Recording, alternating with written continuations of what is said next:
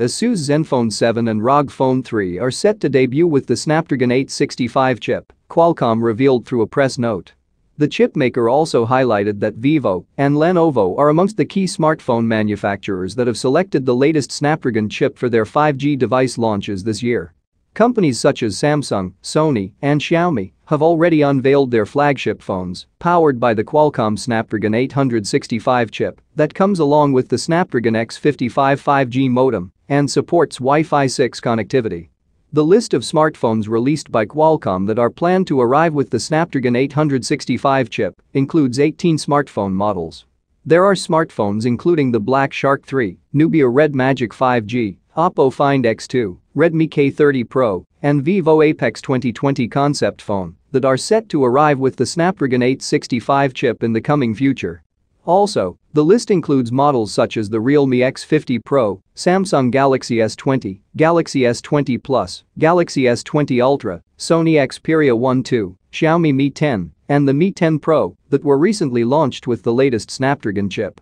In addition to the smartphone models that are already confirmed but are yet to be launched and the ones that are launched recently, Qualcomm's list of smartphones featuring the Snapdragon 865 chip has the ASUS ZenFone 7 and the ROG Phone 3.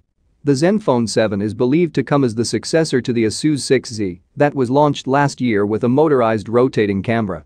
The ASUS ROG Phone 3, on the other hand, is likely to be the upgrade of the ROG Phone 2 gaming phone that debuted last year with 120Hz HDR10 AMOLED display and Snapdragon 865 chip.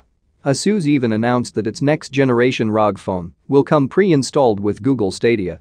The cloud-based game streaming service initially had support for the Samsung Galaxy S10 and Galaxy Note 10. The series of Razer phone and original ASUS ROG phone also have Stadia support. The press note released by Qualcomm also mentioned brands such as Fujitsu Connected Technologies, Lenovo, Sharp, and Sony that have selected the Snapdragon 865 chip.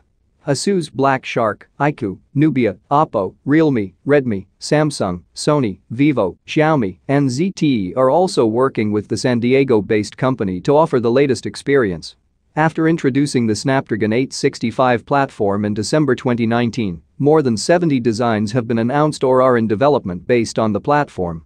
Additionally, more than 1,750 designs have been announced or are in development based on our Snapdragon 8 series smartphone platforms, the company said in the note. So, according to this rumors it is sure that we are soon gonna get a update from ASUS. Thank you, and please do not forget to like and subscribe if you are expecting more such videos.